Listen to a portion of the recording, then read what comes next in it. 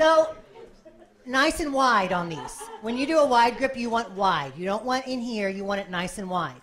Now, the biggest mistake that I do see when people do back is they come here and then they go here. That's not engaging the back. You want to stretch all the way through the back. So you're coming up, stretching the muscle, and then coming back down. You do not have to stay right here. Okay? You don't want to be one of those guys that's swinging all over the place and laying down to do it. But you, you can put a little bit of momentum in it. I'm a big advocate of, like I said yesterday, moving the weight and being part of the weight. So if you're pulling back here and you're leaning back a little bit, that's okay because you're going to come back up here to stretch. So you don't want to, like I said, you know, you've seen the guys that are like, hey, I'm doing, you know, that's not what we're talking about.